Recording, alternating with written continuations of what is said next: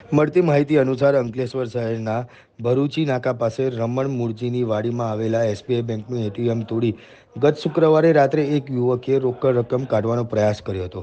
આ મામલે અંકલેશ્વર ડીવાયએસપી ચિરાગ દેસાઈના માર્ગદર્શન હેઠળ એ ડિવિઝન પોલીસ અને એલસીબીએ અલગ અલગ ટીમો બનાવી તાત્કાલિક તપાસ હાથ ધરી હતી. આ દરમિયાન એસબીઆઈ બેંકના બે એટીએમ મશીન તોડવાના પ્રયાસમાં સીસીટીવી ફૂટેજ, હ્યુમન ઇન્ટેલિજન્સ અને ટેકનિકલ સર્વેલન્સના આધારે પોલીસને માહિતી મળી હતી કે એટીએમ ચોરીનો આરોપી નજીકમાં જ અંકલેશ્વર નવી દીવી ગ્રાઉન્ડ ખાતે જોવા મળ્યો છે.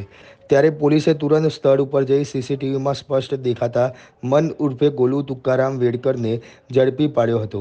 જેની પોલીસે પૂછપરછ કરતા યુવાને કોઈ કામ ધંધો કરતો ન હોવાથી સોમનાથ તેમજ જૂનાગઢ ફરવા જવા માટે પૈસાની જરૂર હોય, જેથી એટીએમ તોડવાનું મન બનાવી રાત્રે તે ઘર નજીકના જ એસબીઆઈ બેંકમાં એટીએમમાં મોબાઈલ પર વાત કરતાં કરતાં ગયો હતો, જ્યાં એટીએમ મશીન તોડી ડાયલરનો દરવાજો ખોલી રોકડ રકમ કાઢવાનો પ્રયાસ કર્યો હતો. જોકે તેમાં નિષ્ફળ જતા ઈટ વડે એટીએમ તોડવાનો પ્રયાસ કરતા સાયરન વાગ્યું હતું અને તે યુવાન ત્યાંથી ભાગી ગયો હોવાનું જણાવ્યું હતું.